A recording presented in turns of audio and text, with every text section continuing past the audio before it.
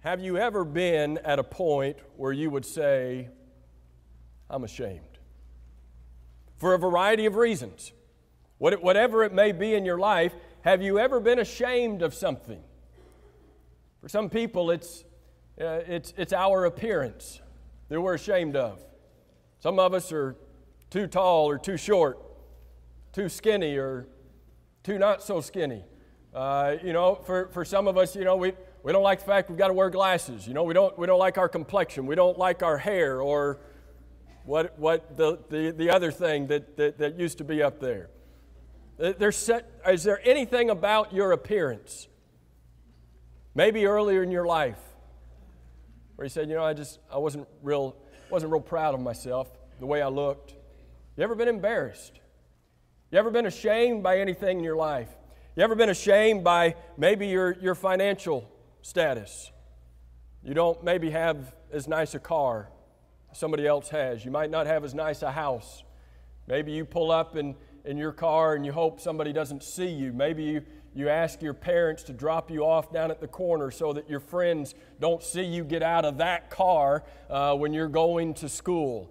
Maybe it's that you don't have the, the latest and the greatest and the, uh, the most uh, uh, recent technology, and you're several generations behind where everybody else is. And is that something that embarrasses you? Have you ever been at a point in your life where you say, I'm ashamed? You ever been ashamed of your family members? Did you ever have somebody in your family that you were just ashamed that they were a part of your family? You were embarrassed that they were a part of your family. For some of you, it used to be your parents, that you were ashamed of your parents. You know, it used to be, and this is back in the dark ages, where families used to actually go to the store together. Can you imagine such a, such a ridiculous idea? But it used to be that families would go to the store. Sometimes, brace yourselves, Sometimes they'd go to the mall together. Ugh, they would go to the mall together. But I'll tell you what you would never see. You would never see that teenager walking anywhere near his mother or father when they were walking around the store. Not going to be seen with them. Now, the teens always thought it was because they were ashamed of their parents, not realizing that sometimes their parents were walking a little bit faster maybe didn't want to be seen with their teen. Have, have you ever had one of those family members that you were just a little ashamed? A little ashamed of who they were, a little ashamed of what they were doing in their lives. You know, there's a number of things that we could look at, a number of things that we could list, say, you know, what is it about our lives? Is there anything about your past? Anything about your past that you could say, I'm ashamed of that? I'm ashamed I ever did that. I'm ashamed I ever said that. I'm ashamed I ever went down that road of life. Maybe it's, maybe it's a family background. You look back and you say, you know, I just, I can't believe I was ever a part of something like that. There's a number of things in our lives where we could look back and say, you know, I'm just ashamed of that. Have you ever been ashamed of your name? Some of you, it's, you know, it's, it's not, not that big of a deal. Michael Erickson, you know, there, there's nothing nothing there to, to really have any shame about. Joe Holland, you know, that's just pretty, pretty ordinary. I have known preachers with the last name of Pig, last name of Hog, last name of Butt. You be one of their children going to school and growing up. How difficult is that going to be where you would go to school and perhaps even be ashamed of your own name. But this morning, obviously, we're talking about something that's even more important, more critical than that. Have you ever been ashamed of your faith? Have you ever been ashamed that you're a Christian? You ever been ashamed that you believe in the Bible? You ever been ashamed that you go to church? You ever been ashamed that you believe in Jesus, that He's the Son of God? You know, and, and this, this kind of uh, manifests itself in, in, in, a number of different ways. Sometimes when, when you're a teenager, you, you think being a Christian is kind of, you know, it's kind of crimping my style here.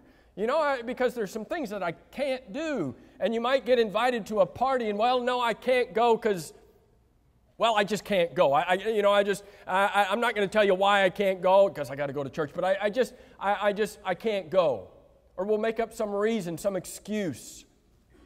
Instead of saying, I can't go to that because I'm a Christian. I won't go to that because I'm a Christian. I won't be there because instead I'm going to be down at the church with my church family. Instead of saying that, sometimes we're embarrassed. Sometimes we're ashamed. It might be that you are at a dinner party with fellow workers, with friends. Everybody goes around the table placing their order for their cocktail, for their adult beverage. And it comes to you. What are you going to order? And what is everybody going to think about you when you place your order for something that is different than what everybody else at the table has ordered? And sometimes it may manifest itself in a number of ways, but sometimes it may be that we are ashamed. We're embarrassed by our faith. Are, are you one of those people that you believe that you actually have to be dunked underwater and brought back up in order to have your sins taken away? You, you believe that? You, you're a part of that church. You're a part of that church that doesn't use instrumental music in your worship. Number of things, perhaps. Number of things that could be said, a number of situations that we could be placed in. Have you ever been ashamed? Have you ever been embarrassed by your faith because you're a Christian? Paul says in Romans chapter 1 and verse 16, I am not ashamed of the gospel of Christ. Do you believe that? Is that something that you can say with all of your heart? I want to give you the opportunity. I want us this morning to say this line right here together. Can we say this together? And, and, and I know it's easy to say in here because everybody's going to say it in here. This is the easy place to say it. But let's see if we can say this out loud and let's say it together. Start with me. I am not ashamed of the gospel of Christ. Do you believe that? Don't let it just be words that come out of your mouth. Do you believe that? Is that something that comes from your heart? You know, when we're in leadership training camp with our young people, sometimes we will read a verse with them. And in order to help them to understand a verse, what it's saying, sometimes we will emphasize each word in the verse in order to let that verse, in order to let those words come off of the page, in order to make you, because sometimes you know you read a verse and you just run right through it. Sometimes when you start emphasizing each, even insignificant words, it'll help you understand what that verse says. And I thought about doing that with this whole verse, but there is a sermon to be preached this morning. But I want us to say that again, and I want us to emphasize one word that is the word not. I want us to say together, I am not ashamed of the gospel of Christ, but when we get to the word not, I want you to punch it just a little bit harder. Let's say this together. I am not ashamed of the gospel of Christ. Is that you? Is that your heart? I hope that it is. I hope that when, when we live as Christians, that we don't walk around embarrassed by the fact that we believe in Christ, embarrassed by the fact that we go to church, embarrassed by the fact that we live by a moral principle that is founded upon God and His truth and not man and his fluctuating relative idea of what morality is.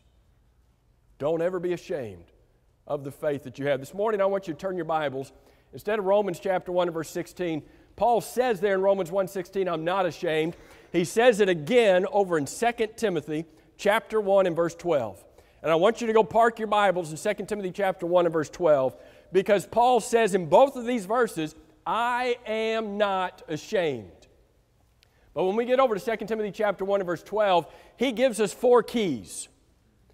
He gives us four key principles in 2 Timothy chapter 1 and verse 12 that if we will adopt these, if we will use these keys, we will be able, like Paul, to say, I am not ashamed. Are you, are you with me?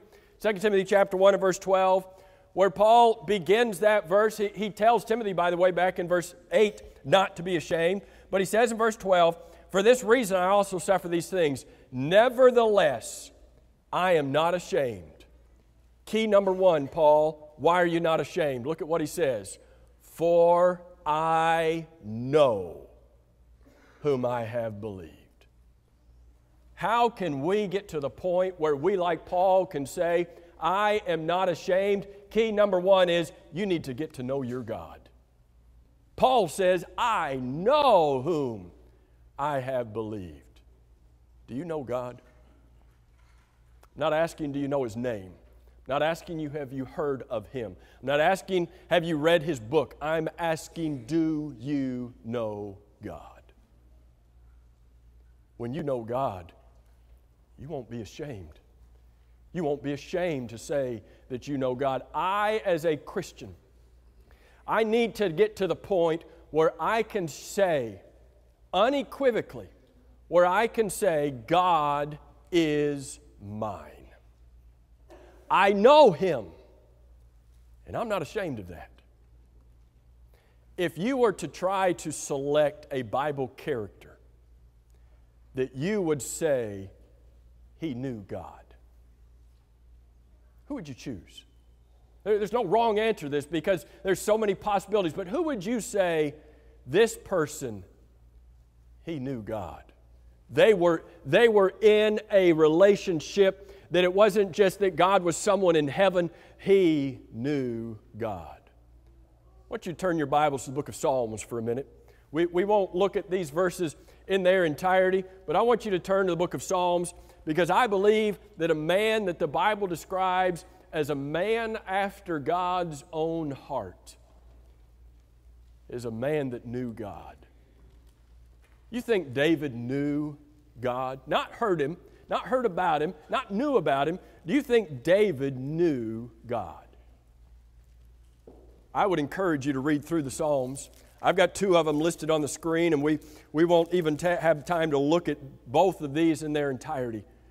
But I want you to read these Psalms and think about do I know God like David knew God? Look in Psalm 139. Oh Lord, you have searched me and you have known me. You know when I sit down, you know when I rise up. God, you, you know everything about me. You comprehend my path. You comprehend when I'm lying down, verse 3. There's nothing I can say, verse 4, but you know what I'm going to say. Verse 5, you have hedged me behind and before. God, you've placed a hedge about me, and you've laid your hand upon me.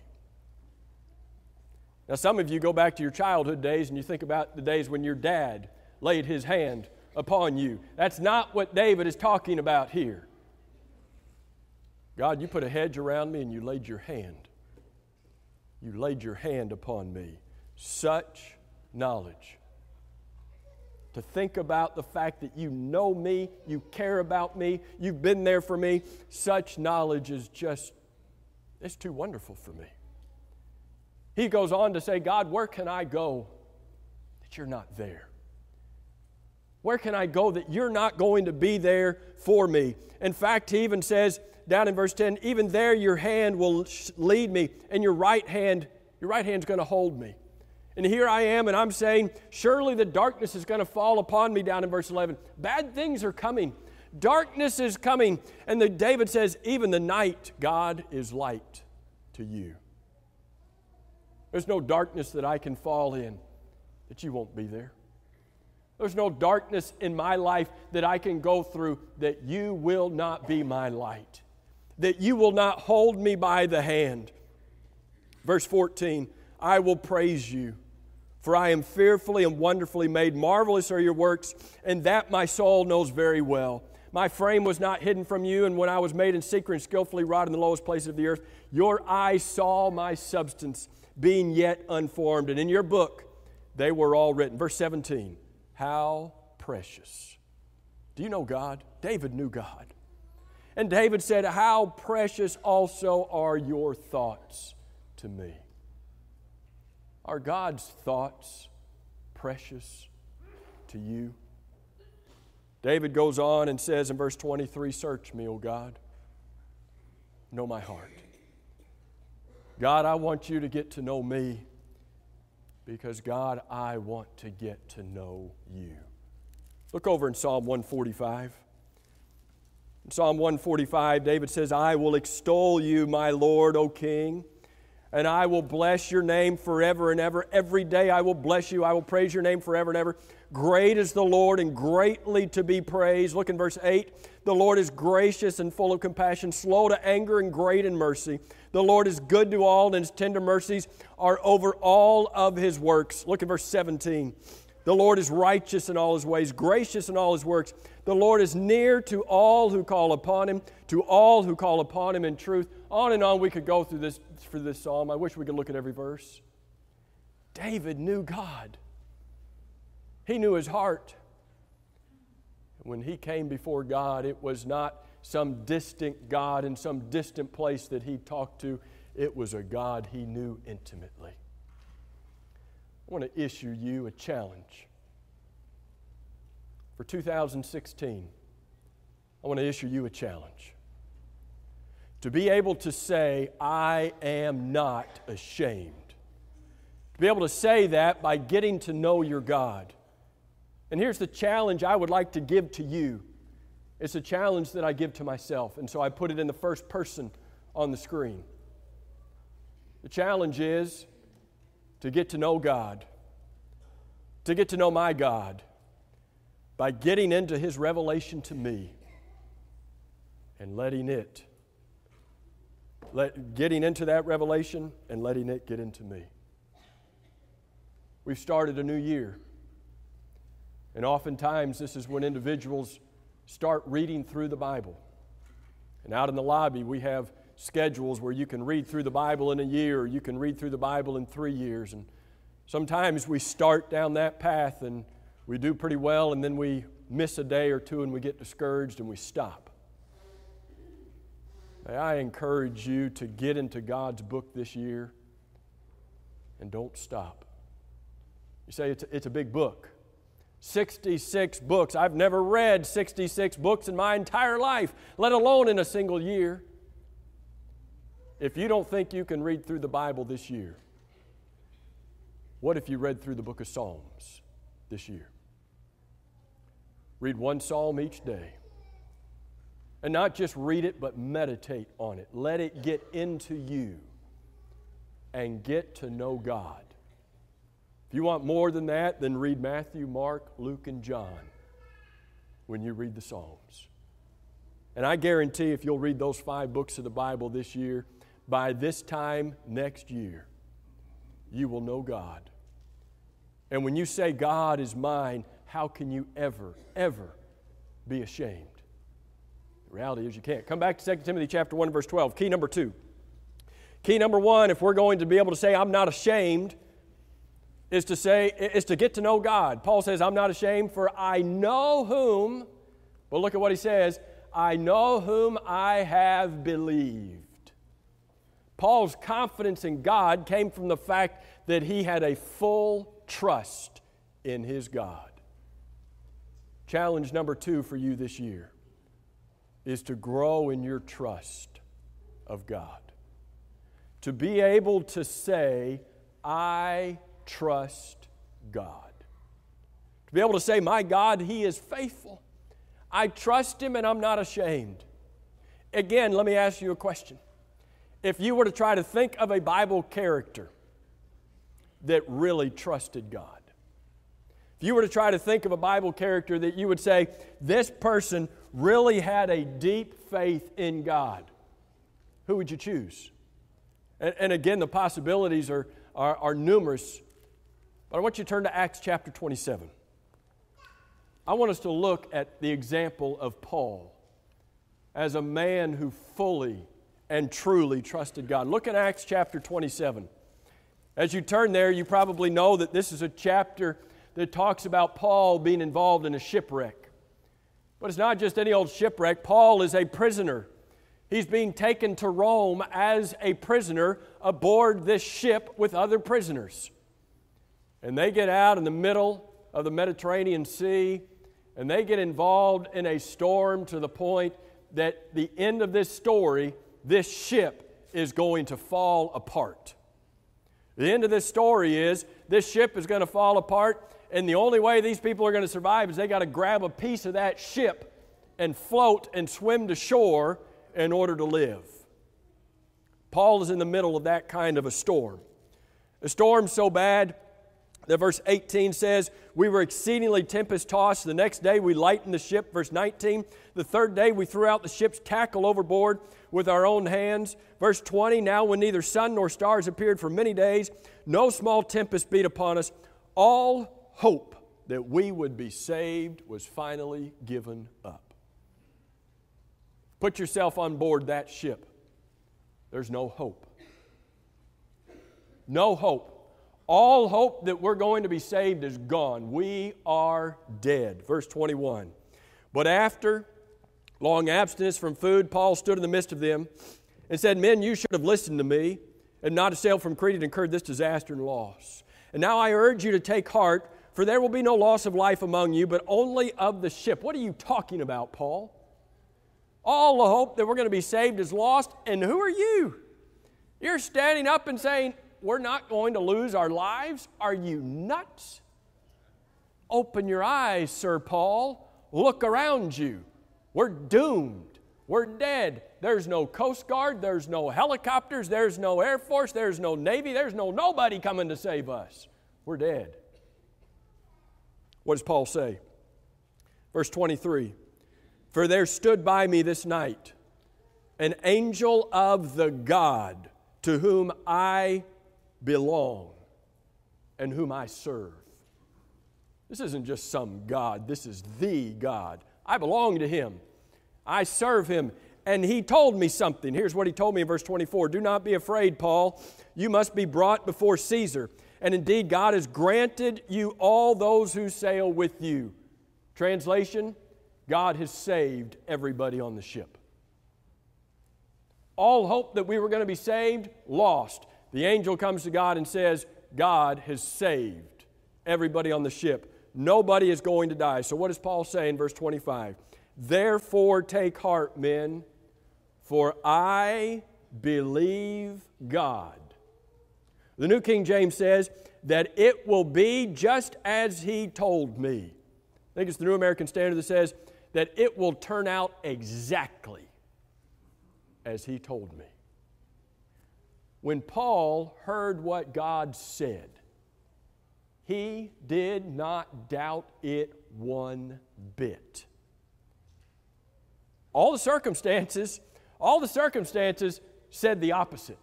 The appearance of what they're going through doesn't, no, Lord, this doesn't make sense. There's no way you're going to save us. Everything looked the other direction. But when God said something, Paul believed it. Paul trusted it. And Paul said, I know it is going to happen. And it's not just going to happen sort of like what God says, it's going to turn out exactly as God said. Do you have that kind of trust? Do you have the kind of trust in your God that when He says something, you know it's going to be exactly like He said? When he said there is a place where there is no sorrow, no pain, no death, no crying, do you believe it'll be exactly like he said? When he said, I go to prepare a place for you that I may come and receive you, do you believe it exactly? You believe that the Bible says that he's going to return in flaming fire, taking vengeance on those who do not know God and do not obey the gospel of Christ? Do you believe It'll happen that way exactly. Here's our challenge. Here's my challenge for me, my challenge for all of us this year when it comes to our faith in God is that I need to grow in my trust for God so that I can become like Paul. So that I can get to the point in my faith with God that I take Him at His word Whatever he says, I take him at his word without question. And I don't doubt anything that he says. Is that where your faith is today? Do you have the kind of faith like Paul did? Whatever God says, that's exactly what God means. That's exactly the way it'll happen. And when I have that kind of trust, why would I ever be ashamed? When I have that kind of faith in God, how could I ever be ashamed of that faith? Go back to 2 Timothy chapter 1 and verse 12. Four keys in this passage for me not to be ashamed of my faith. Number one, Paul says, For I know whom I have believed. I need to get to know my God. I know whom I have believed. I need to grow in my trust. And then look at what he says. And I am persuaded that he is able. If I want to get to the point where I can say, as Paul did, I'm not ashamed of the gospel of Christ, I need to grasp the power of God. I need to get to the point where I am able to say, God is able. And I need Him. I need my God. I can't, I'm not ashamed of Him. I need Him. I need Him in my life. And again, if I were to ask you, who, who epitomizes this in Scripture? There's so many different ones, but there's one character named Abraham. Throughout the Old Testament, obviously talked about and we won't take time to look detailed over in Romans chapter 4, but he's talked about in Romans chapter 4. And a lot of what Romans chapter 4 is about is talking about Abraham's faith. And when it comes to Abraham's faith, God came to Abraham and told Abraham that he was going to have a child. Abraham's 100 and his wife is 90. Hello, would that get your attention? Abraham, you're going to have a son. Your wife's going to have a son. You're 100, your wife is 90. And in Romans chapter 4, Bible indicates Abraham didn't blink an eye. He, he looked at the age of his body, looked at, the Bible says, the deadness of his wife's womb. She had never had a child, and he did not blink an eye. Are you serious? You know, could you do that? If God came and told you that, would you be looking around for the hidden camera? Would you be saying, okay, what's going to happen next? You know, are, are you going to believe it when God, because that just sounds, that just sounds like there's just no possible way that's going to happen. But when you get down to Romans chapter 4 and verse 21, not only talks about that Abraham had faith in God, but it says that Abraham was fully, hear this, he was fully convinced that God was able to perform that which he had promised. Abraham was fully convinced that God was able. I'm 100, she's 90, no big deal. Now, if I'm 200, it's not going to be a big deal because with God, all things are possible. Abraham believed in the power of God. Sometime, do a study on the word able in your New Testament and study what God is able to do for you and see if you believe it. In Hebrews 7 verse 25, He is able to save us to the uttermost. No matter what I have done, no matter how evil I've been, no matter what sin I've committed, God is able to take that sin away and save me. Do you believe that? Do you believe that God is able to aid you when you are tempted in Hebrews chapter 2, verses 17 and 18? Do you believe that? That when you are going through some kind of a temptation, that God is there and God is able, He has the power to get you out of that. When you think about what God is able to do for you, Perhaps you think about other verses with that word able, where the Bible says that God is able to keep you from stumbling in Jude verse 24. God can keep you from stumbling as a Christian. The Bible says He is able to do exceedingly, abundantly above all that we could ever ask or think. Do you believe in the power of God? Do you believe that the power of God is working in your life? Our challenge for 2016 is to be able to grasp God's power personally. To go back to the Bible and see His power working in the lives of His people. And to see His people, like Abraham, saying, being fully convinced that whatever God promised, He was able to do. And to come to a point in our life where we have the faith that says, if God is for us, what's the rest of that verse say? Who can be against us? Can I challenge you to change a pronoun? Can I challenge you to change it from us, plural, to me, singular? Do you have the faith that says, if God is for me, who can be against me? When the God of heaven is for you, how could you ever be ashamed of him? When he wants to save you, when He wants to take you to heaven, how could you ever be ashamed of Him? The last key that's in 2 Timothy chapter 1 and verse 12, Paul says, I am persuaded that He is able to keep what I have committed unto Him until that day. If we're going to be able to say, I'm not ashamed, then we have to be able to get to the point where we give ourselves fully to God. Where I get to the point where I am able to say, God is unfailing. And I surrender to Him. And I'm not ashamed to say it. Again, if you were to try to think of some Bible character, who would you try to think of who gave himself fully to God, recognizing that God is unfailing? In Hebrews chapter 11, we are reminded about Moses. Moses, who was raised in Pharaoh's house.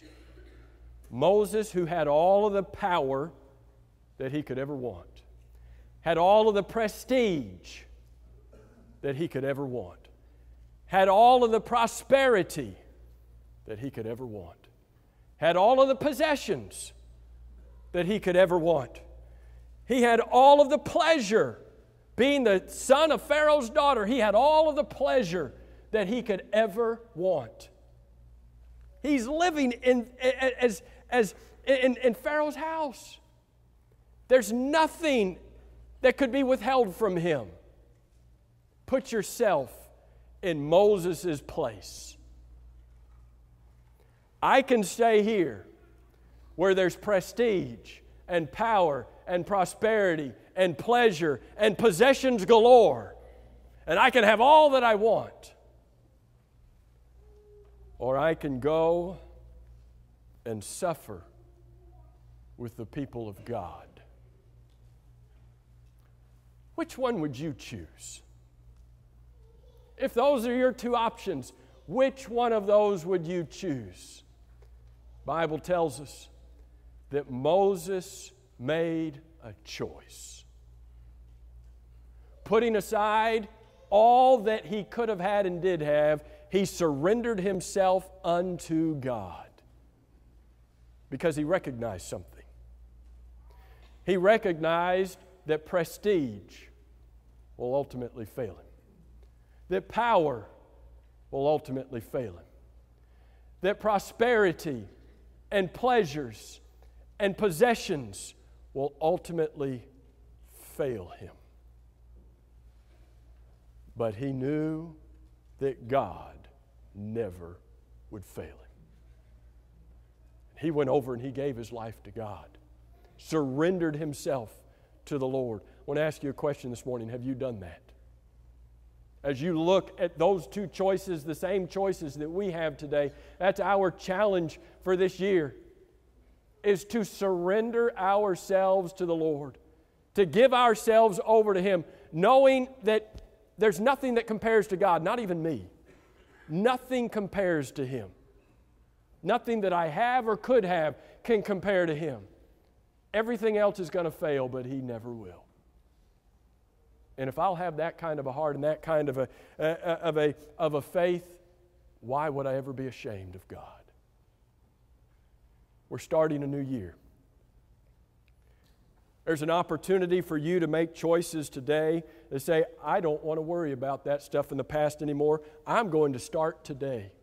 And from this day forward, I am going to say, I am not ashamed of the gospel of Christ.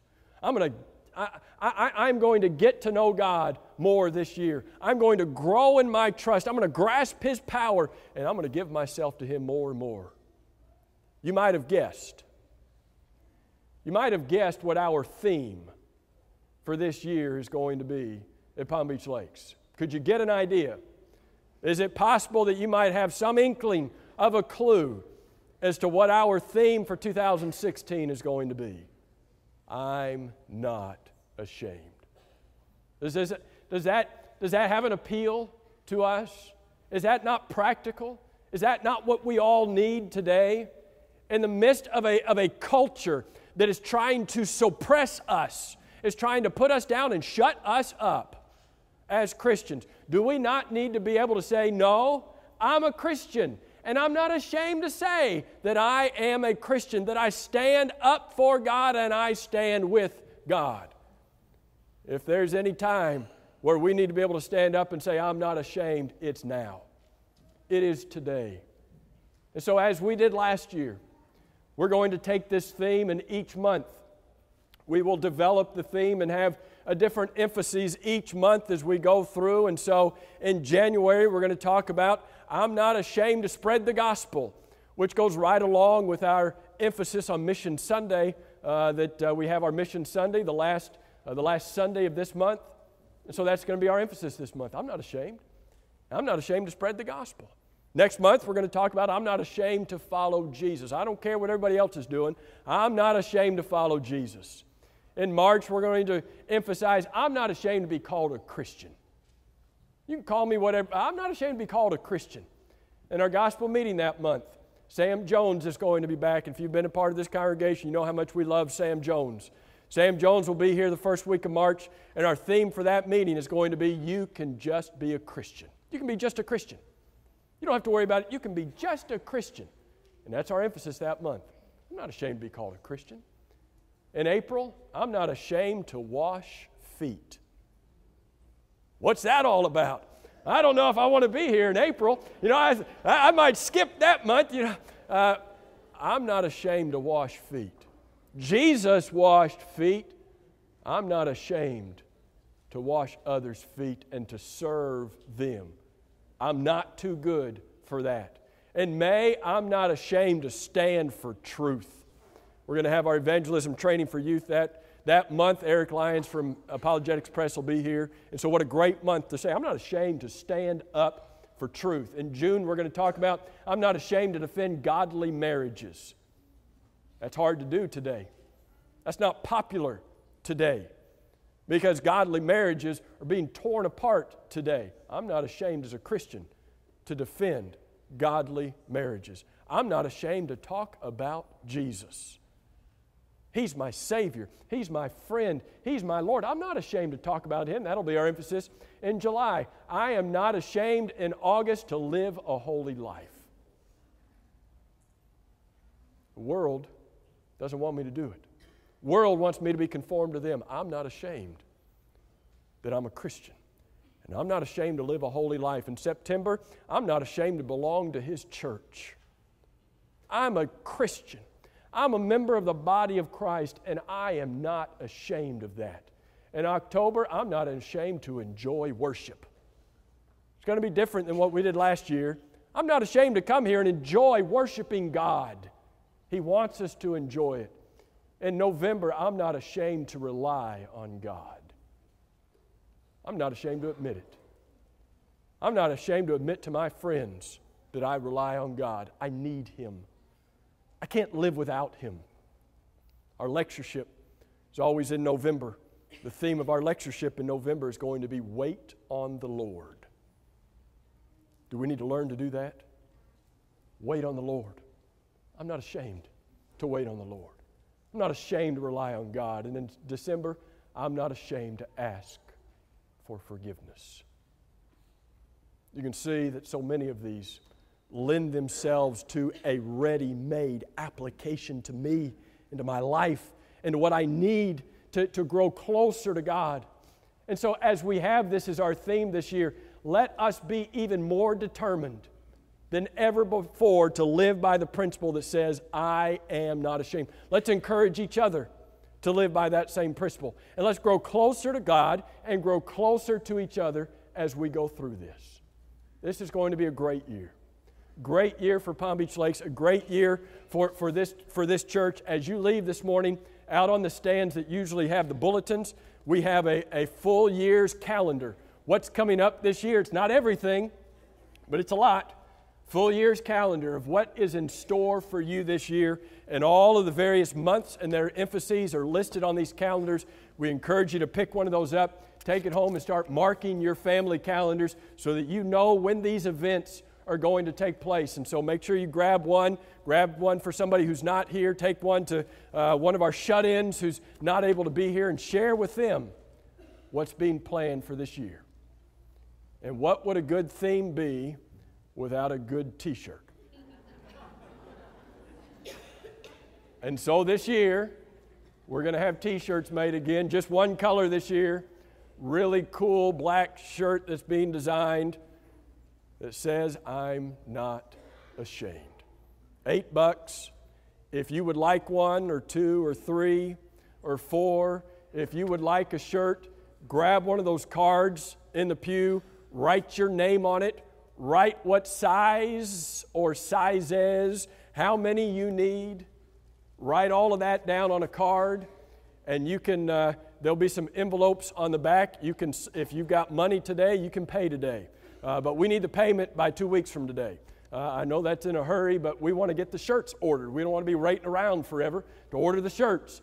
Uh, but a nice uh, black cotton T-shirt. It'll be a little different, quali- different uh, kind than what we had this year, uh, but same cotton kind of a shirt.